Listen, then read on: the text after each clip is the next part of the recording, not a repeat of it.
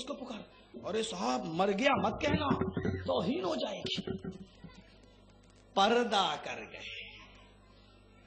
ये बड़ी अच्छी इस्तेलाह निकाली हमारे भाइयों ने। पर्दा कर गए।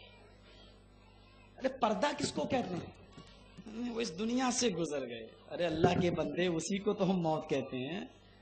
नहीं नहीं नहीं, मरे नहीं है। पर्दा कर गए। पर्दे का माना क्या हुआ? पर्दे का माना यह हुआ कि वो ज़िंदा है, लेकिन हमारी आँखों से ओझल हो गए। हमारी आँखें इस दुनिया में देख रही हैं। हमारी आँखों से ओझल हो गए का मतलब इस दुनिया से ओझल हो गए? हाँ इस दुनिया से ओझल हो गए। अरे उसी को तो हम कहते हैं, वो दूसरी दुनिया में चले गए नहीं नहीं नहीं, वो इस दुनिया में ओझल नहीं, पर्दा कर गए। तुम कितना ही अच्छा लकब ले लो।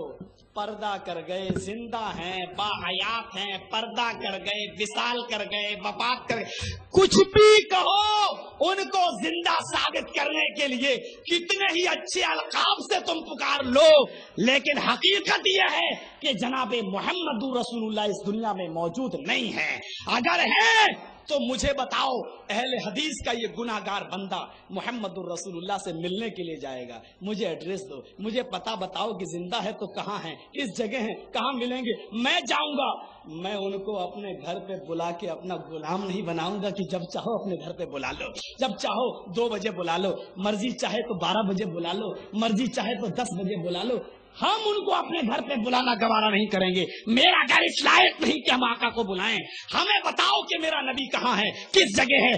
तुम जाओ या ना जाओ, कम से कम पूरे हिंदुस्तान में भीख मांग के और चंदा करके हम ज़रूर आका से मिलने के लिए जाएँगे कि बड़े लोगों से मिला जाता है। बड़े लोगों को नौकर बना के अपने घर पे बुलाया नहीं जाता है। बताओ तो